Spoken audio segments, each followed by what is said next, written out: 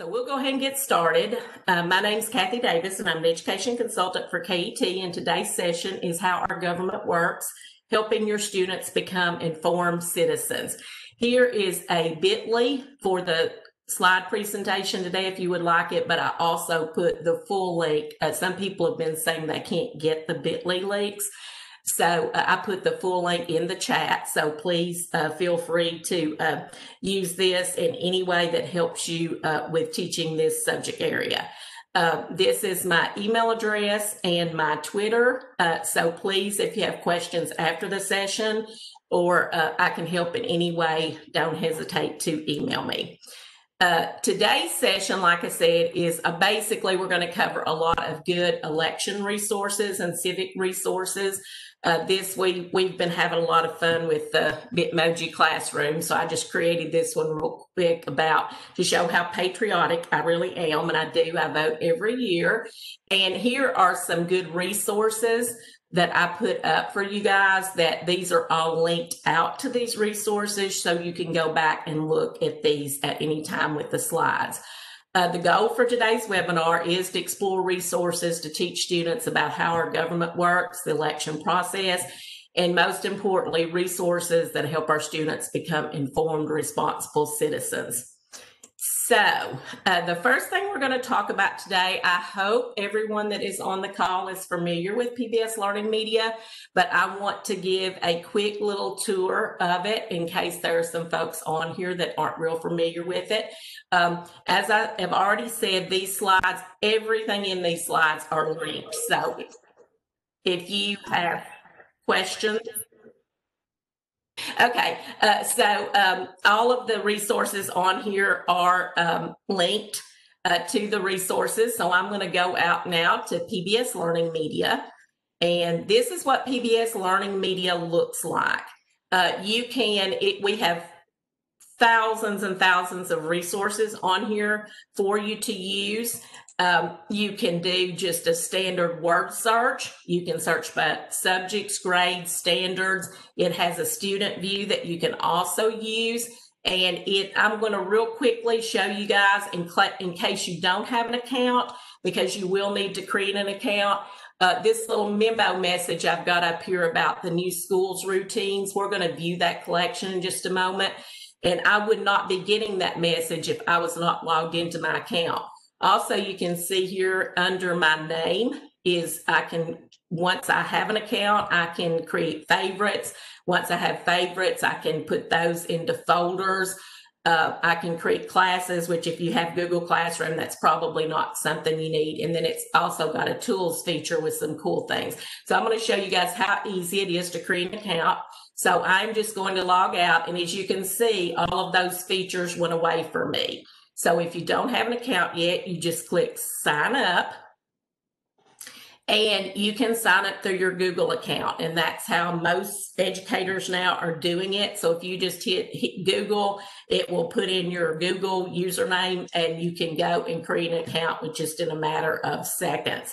Uh, you can also uh, sign up through an email account uh, one thing I do want to say, however you create your original account, that's what you will want to stick with because they don't like if you have one that you created through Google and one, one through email, they don't like transfer your favorites and stuff real good. So create one account and stick with it. I created my account long before signing in through Google was an option. So I have an email account. So I am going to let me go back here. That's not what I meant to do. If you sign up through email, that's what it looks like. But I already have an account. And so I'm just going to sign back in here uh, through my email. And it is saved into my computer so I can just sign back into my Google account.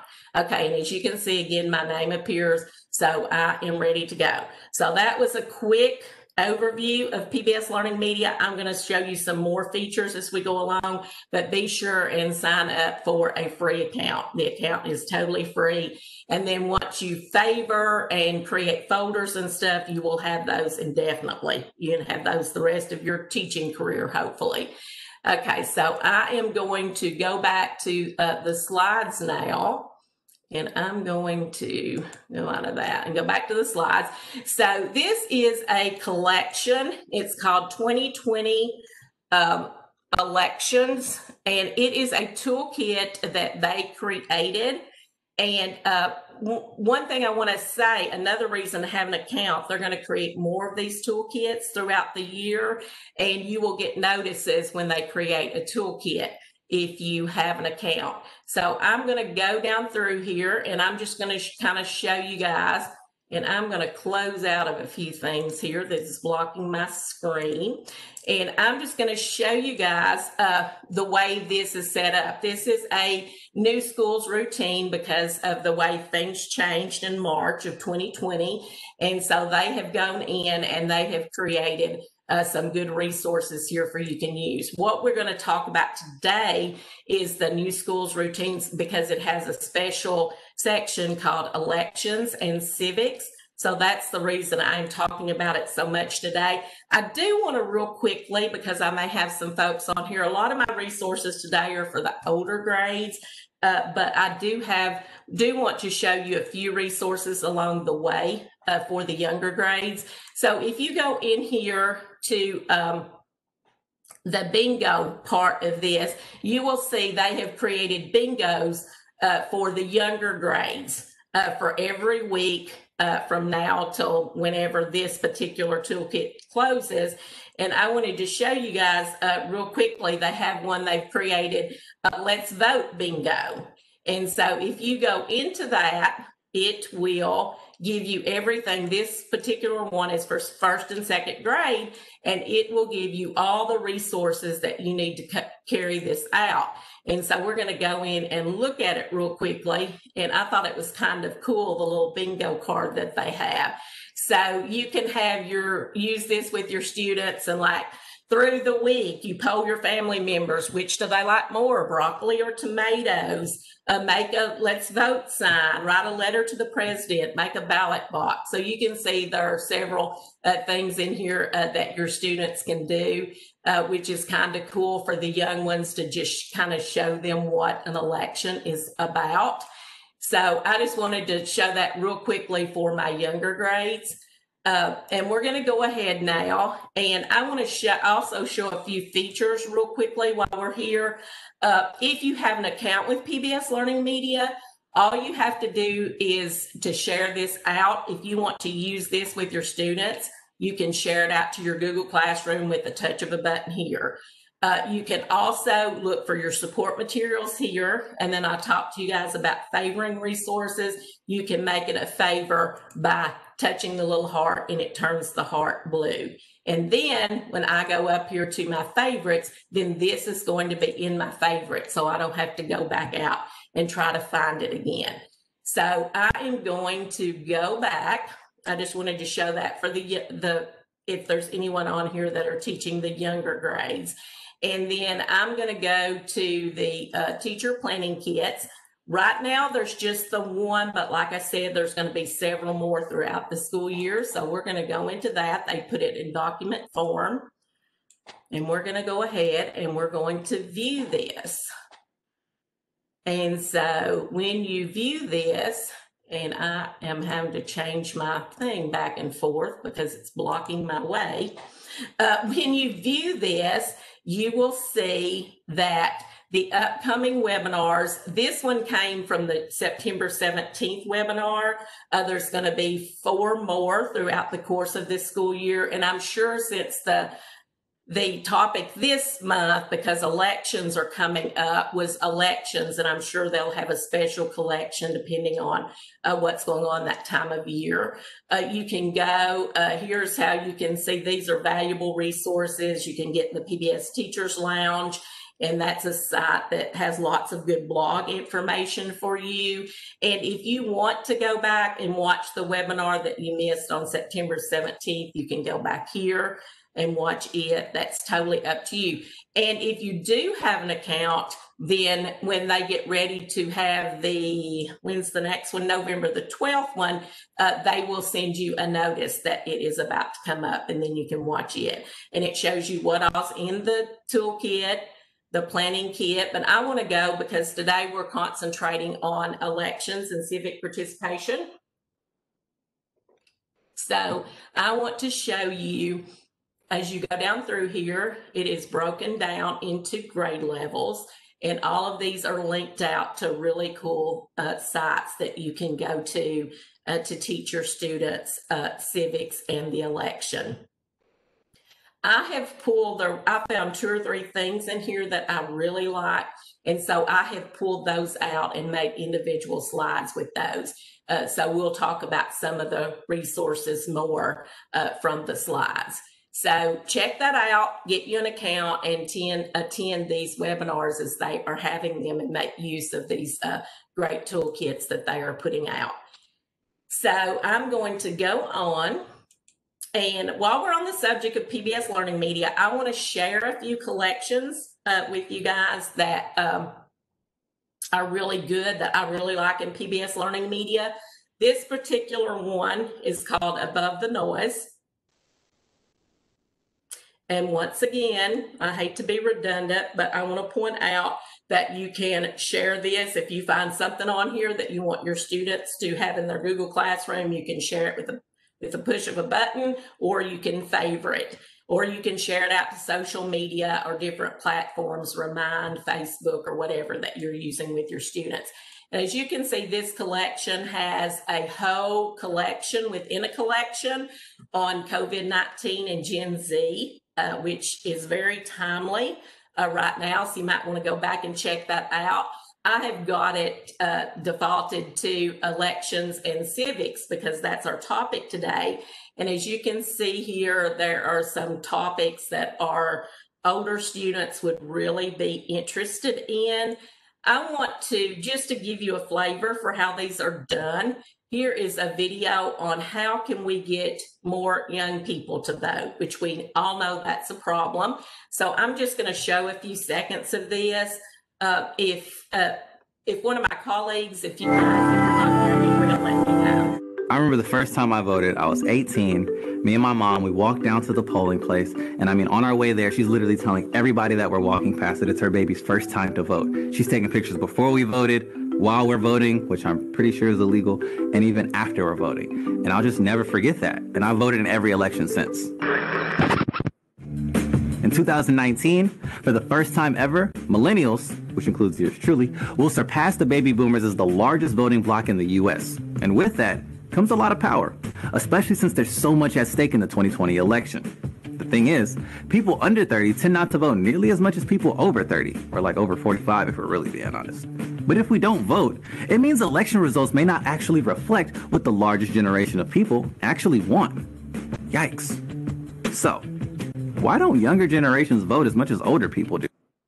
Okay, and I know you guys can watch this video on your own, and I hope that you could see it and hear it uh, good. Uh, we um, and he goes on to explain why the gen- younger generations do not vote and give suggestions on how maybe we can get the younger generation to vote. I also want to point out that these are aligned to standards. Again, you can favor, these have support materials. A lot of them have good discussion questions. Some of them have quizzes already made up and stuff. So always check the support materials uh, when you're watching things on PBS Learning Media or using uh, resources on PBS Learning Media. And some of you guys, it may be helpful to know that a lot of the videos, this particular one is not, but you can watch them in Spanish as well. And you can download if you're having an internet, if internet's an issue or whatever. Uh, so that is above the noise. I just wanted you guys to see that collection. Uh, so I'm going to go on now to another collection that I really like in PBS Learning Media, and it's called the U.S. Presidency. And we'll go into it. And when I say collection, what collections are is they have taken a lot of like resources on the same topics and they have put them into all together so that you can go to collections and find things uh, that would be uh, what you might like. Uh, as you can see, one of the favorite resources that we have that we get a lot of comments in PBS Learning Media is on 60 second presidents.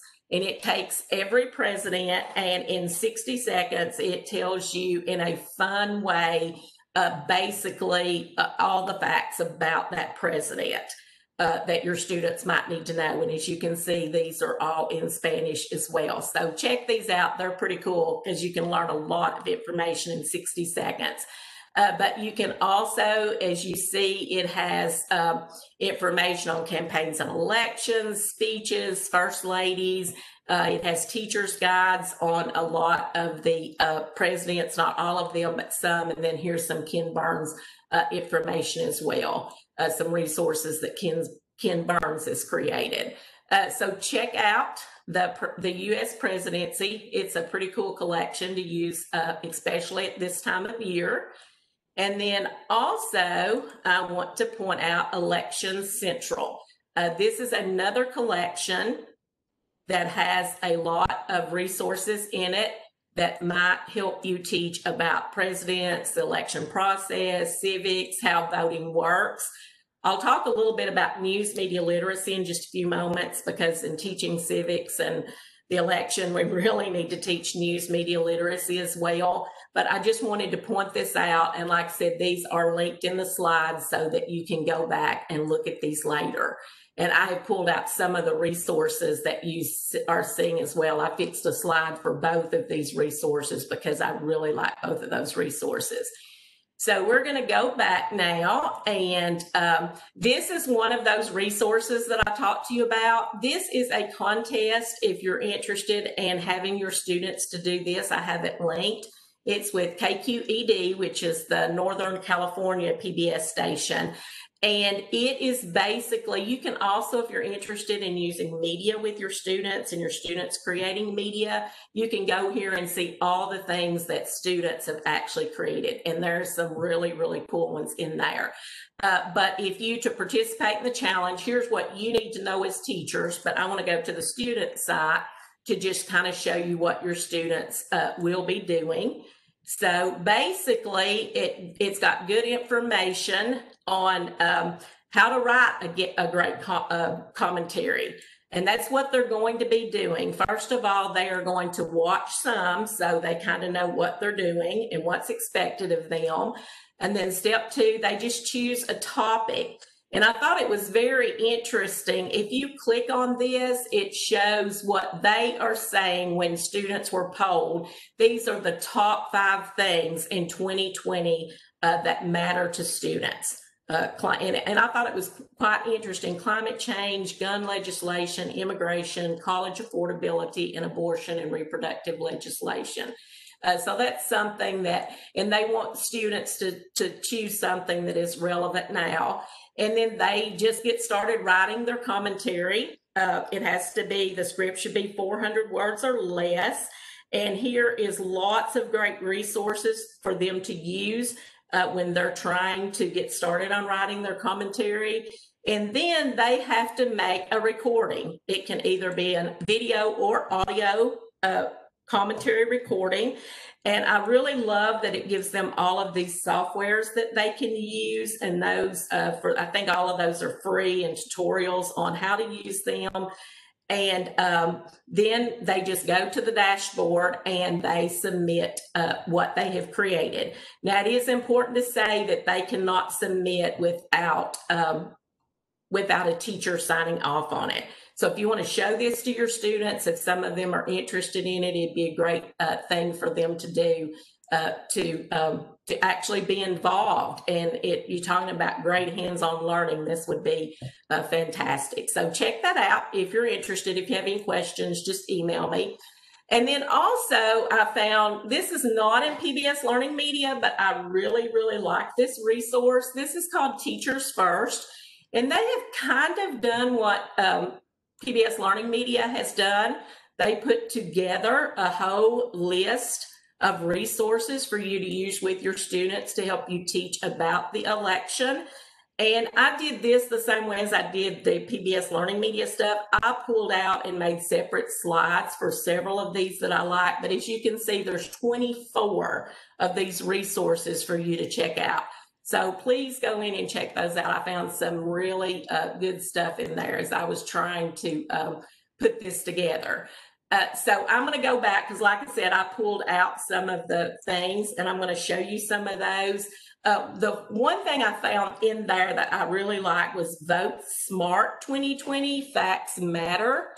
And so um, this is what, uh, let me see, let me go back and let me exit this and go back.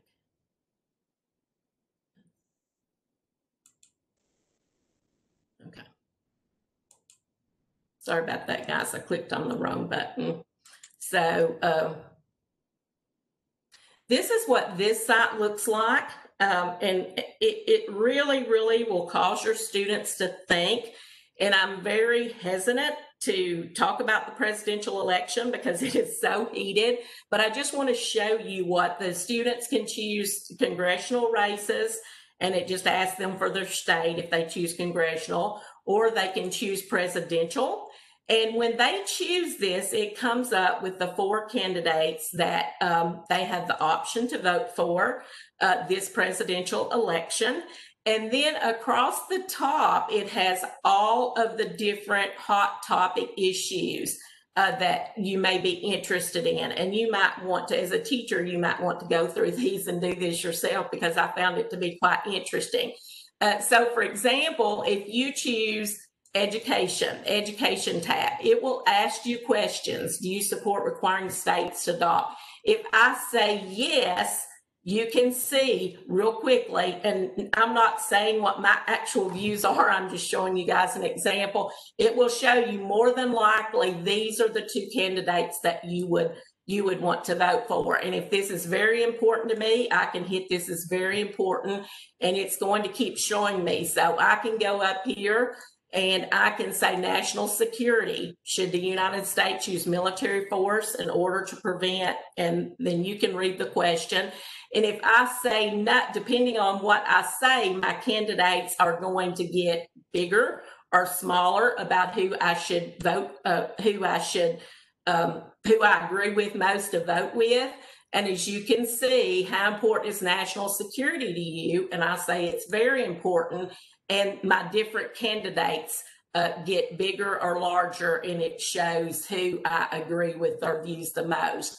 So if I go up here to a very controversial subject, and I'm just doing this one because I know it's going to change, uh, it, do you generally support pro-choice or pro-life? If I say pro-life, then as you guys can see, my and this is very important to me, uh, my Republican candidate there got larger as I'm doing this. And so you can have your students and they can go right here to more details and read about each one of these and the different candidates, what they say about them and things.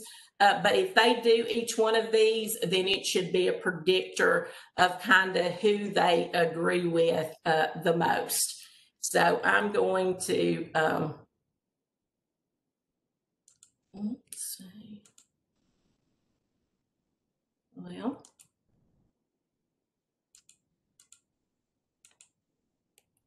hmm.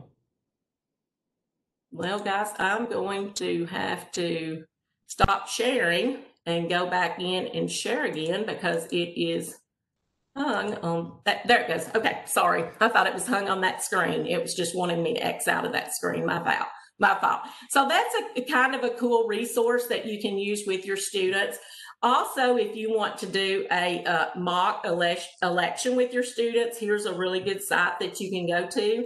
And another reason I pulled this out is because all the organizations that put this together, there are also links to them at the bottom. And I found some of these to have some very good information on them, especially working with young people, the Youth Leadership Initiative. If you go to it and go to their site, you can see that for teachers and visitors, that they have lots of good information here that you guys can use. They have lesson plans, uh, e-congress mock elections and then here a freedom wall where your students can voice uh, their concerns on uh, current issues and stuff so i just wanted to point that out uh, in that that i thought that was really good uh, thing that you guys can use um, with your students so this is Teachers First. And like I said, check out all of these resources because there's a lot of them.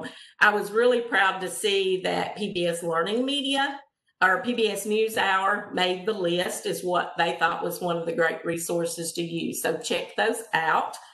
And then I'm going to go ahead and uh, this is a video that I actually found uh, and looking at one of the sites, I forget which, and I'm not going to show the entire thing, but I really like the way that it uh, explains electoral college because that's difficult for some students too. So I'm just going to play this for just a few minutes. I don't have time to play the entire thing.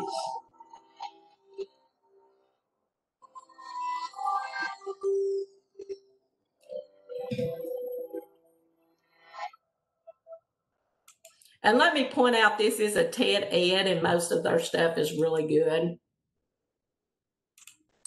Most people have heard of the Electoral College during presidential election years. But what exactly is the Electoral College?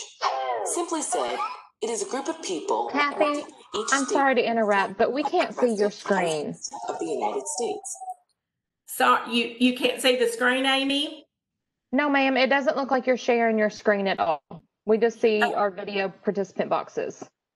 Okay, all right. I'm sorry. I will go, try to uh, go back in then and share.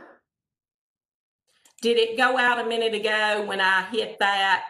That's that's what happened. Okay, so I'm going to share again. Thank you, Amy, for letting me know that. You're welcome. Now we can see it. Okay, fantastic. Thank you. And I'm going to go in and start the video again.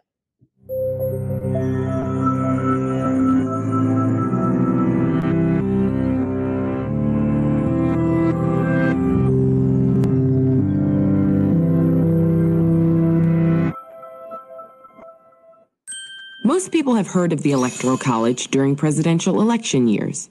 But what exactly is the Electoral College?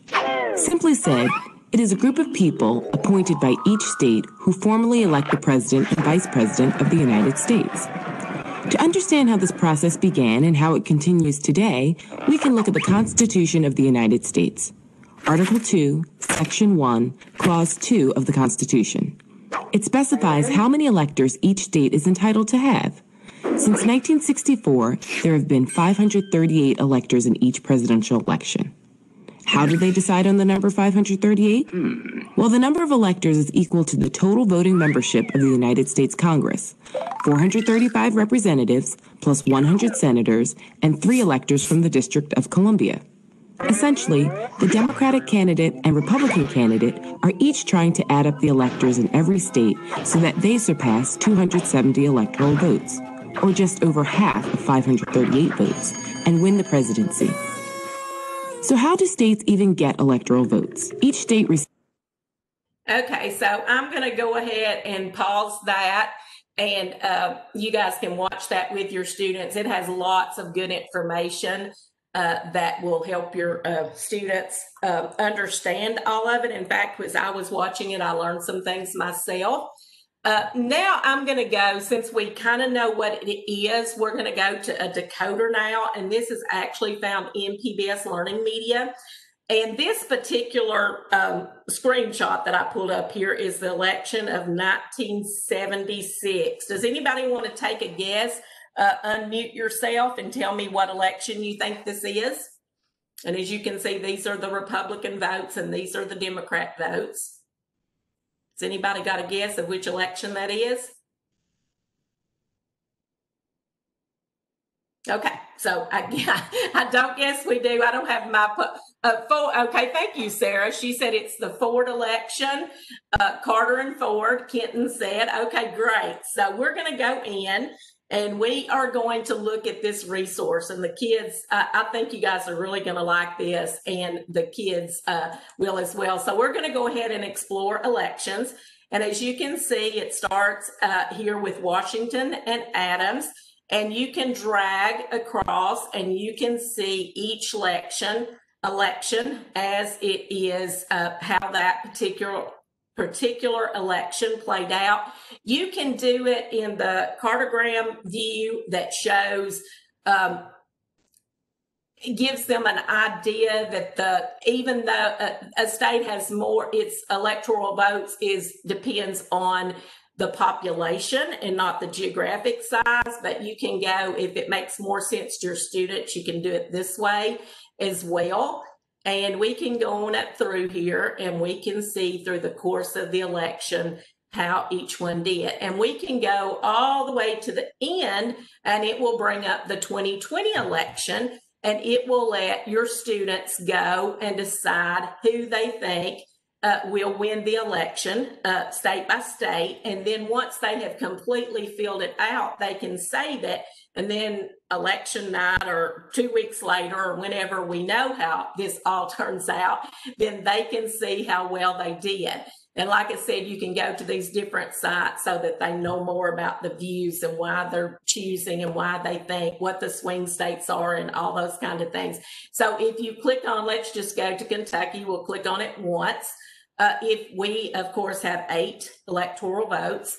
And so if we uh, click on it once, uh, President Trump gets our vote or gets our eight. If we click on it twice, Joe, Vice President Joe Biden gets our vote, and then third party is the third one, and those were the two uh, obscure candidates uh, that I showed you all earlier. They don't even actually have them listed here, uh, but and then you can the fourth time it can go back. So the students can go in, and it shows here like Montana only has three votes, even though it's geographically very large because of its population. And you can see that if you go back to the cartogram. Okay, so this is a kind of cool thing to play with, and I think that you guys might want to fill it out. I'm going to fill it out and save it and see how I do uh, when uh, it all is said and done. Uh, but this is this is actually found in PBS Learning Media, and I have it uh, linked uh, in the slides. So check that out. Pretty cool resource. And then this, I'm not going to show this video, but this is something that actually uh, Larry, a colleague of mine, found at U of L's um, and some stuff he was looking for as we were studying, trying to find good news media literacy stuff. And uh, this is a really good video that helps students understand that they need to read quality news when they're researching about the candidates. They, then they need to research them, not just listen to what someone else says. And then how important this particular video pulls out how important the money in campaigns are and how much money has been is being spent in the elections. Uh, so it's a pretty cool, I stuck it in here for you guys in case you want to use it with your students. Here is a site that I really like. It's a Civics Online Reasoning. And this has some really good stuff that you can use with your students about uh, civics and the election and government and uh, and news media literacy. Uh, so you can go to the videos tab, and as you can see here, um, how to find better information by click restraint. And basically, what that is, is when you do a Google search on something, don't just look at the first thing that pops up. In fact, the first thing that pops up might actually be a paid advertisement uh, by someone. So go down, look at the sources, and find something uh, that is a reliable source and check those out. And another good thing to use with your students as they're talking about click restraint is lateral reading. Don't just open one tab, the first thing you see, open that tab and read straight down. Find several of what you think are good sources and then read across. Have all three tabs open and read across. Uh, so those are two things that, and these videos are really good, short, kind of entertaining videos uh, that will teach your students about that. And then one thing I really feel like I need to say is on using Wikipedia wisely. A lot of our students, that's the first thing they go to because a lot of times that's the first thing that pops up. Uh, Wikipedia now, they are saying, is a good resource to look at because it has evolved a lot over the years. So now, for the most part, important articles like the 2020 election, you have to be a uh, certified, for lack of a better word, Wikipedian in order to make changes and stuff. But one thing this points out that I think is really important to tell your students every time that you uh, there's an edit made in Wikipedia, uh, they have to go in and cite their sources. So if you go to an article and then go down to the very bottom of that article, uh, you will find lots of good sources to check out what it is that you're wanting to research. So uh, Wikipedia is, um, like I said, it's getting a better name than it used to have. Uh, so this is a really good video to show your students on good use, uh, wise use of uh, Wikipedia. So I am kind of going through that a little fast because we are um, the time is getting away from me as it always does. But definitely check out Civics Online Reasoning. Really good resources in there. It's it's one of my favorite things I've shown you guys today. And then uh, Common Sense Media. Uh, a lot of you guys probably already use this, but I just wanted to kind of show you guys uh, what is available in Common Sense Media on uh, the election.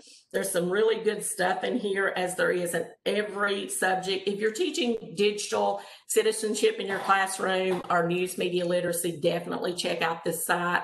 Uh, we're going to talk a little bit more about that one in just a moment. But as you can see, there's nine ways to learn about state local elections, uh, things to check before you share news, our political ads selling the truth. And then there's some really good um, resources down here. I like this one. Um, eight ways you can make a difference in the election, even if you can't vote. Uh, I like this one uh, because most of you guys are working with students that can't vote yet. And it talks to them about how to uh, amplify the issues that are important to you, research them, know your facts, and then amplify those through different ways work for your local campaigns, nudge your teachers to talk more about these issues, uh, text with purpose. So, what you put out there on social media, and it's got good websites to go to, Republican and Democrat. And then uh, join a phone bank. So, lots of different things. Uh, I think I skipped it drive folks to the polls. Uh, go out and get people and drive them to the polls that can't go. So, if you're interested in the election, there is lots of ways that you can get involved. And as you can see by reading the titles, Common Sense Media just has a lot of really good resources uh, for teaching um, civics, the election, uh, digital citizenship, uh, anything basically in that area. Uh, so, uh, like I said, I pulled out that one slide because I thought it was really good. Uh, this it's is on here, and I link this to the activity. But this is basically um, all. I'm going to go actually go into it so I can show you a little bit better. But this is basically all of the sites that they like to use and how they are doing uh, with um, trying to to tell the truth, to get the truth out there. So as you can see at the bottom, it looks like YouTube is doing the best, I will have to say. And it looks like Facebook might be doing the worst. Even, in fact, uh, TikTok is not doing too badly there. Uh, but you can go and you can click on whatever social media platform and you can see what their policies is, what they are doing, and how. So that was, I think that's pretty interesting. And I want to show you guys uh, something here also uh, back in my slides. Uh, if we go to the next slide, and you guys just saw how much truth is going out on these uh, social media platforms. Um, I did a news media literacy workshop with a group of juniors in high school uh, last week. And this, I did a little poll, a little Slido poll, and had them to type in where they like to get their breaking news. And I also told them they could enter more than one answer because we all like to get our news in more than one place, or I know I do. And uh, this is what came up, which does, you guys work with students. This doesn't surprise you at all, but Facebook and Instagram are doing very little to make sure that their news is actually the truth. And that's where most of our students are getting their news. So we need to talk with them about reliable news sources and where to get their news. I was kind of impressed that several of them, actually, this was a school that's not too far from Louisville. Um, and as Sarah said, this is pretty frightening. Yes, it really is. And this was a great group of students. They were very interactive and answered a lot of uh, things correctly when I would ask them about sources and stuff. Uh, so, yes, it is frightening, but I, I don't think it's a shock to anyone uh, that we know that, that this is where students are getting their news. So on that note, um, I, like I said, I, right now my whole life is being consumed with news media literacy. I used to be a media specialist before I took this position, and I love news media literacy. So I've been doing a ton of research on it and creating workshops and stuff on it. And uh, this is a slide I use with the students, and I think it's um, thank you, Becky. That is so true. It's not just the students; it's the adults as well. Uh, in fact, I'm amazed at what some of my teacher friends uh, put on Facebook. I'm like, oh, stop it. But anyway, and so this is a method to teach teach your students. It's SIFT, an acronym S-I-F-T. And to kind of make it hit home with your students, uh, I put this illustration. It's kind of like when you go to festivals or like uh, places that have the little bags of dirt that you buy, and then you put it in a sifter, and then you swish it around in the water, and then all the great things come to the top. Um, and, and, they do, and you can get some really uh, beautiful things uh, when you buy those little bags. And so, um, just a way to explain to your students that news is kind of like that. You just, there's a whole bag full of dirt out there. And if you stop, when you first read something, just stop and think about uh, does it sound too sensational to be true? Uh, does it look too sensational to be true. So just stop and think about the news that you've just read and then investigate the source as we've talked about uh, as we've been going through this stuff. Investigate your source, do some lateral reading, see if the source you read it on agrees with the other sources and stuff. And then find trusted coverage. Uh, we all know uh, misinformation is probably spread everywhere. In fact, I probably spread it and don't realize I do, but we know the sources that try for news journalism and, and standards and try to, to to put out the correct information. So have them define trusted coverage and then trace back to the original. Uh, I like the example here. Maybe there's a video. This is one that your students would understand. Uh, how much has been stripped from the original? Are they trying to make you see it a different way than it actually happened? Like, for example, there's a video of a fight between two people with person A as the aggressor. But what happened before that? What was clipped out of the video to make it look like that person A was the aggressor? So teacher student SIFT and hopefully uh, they will this acronym will stick with them and this example will stick with them and they will try to find uh, good news. So uh, this uh, that concludes the presentation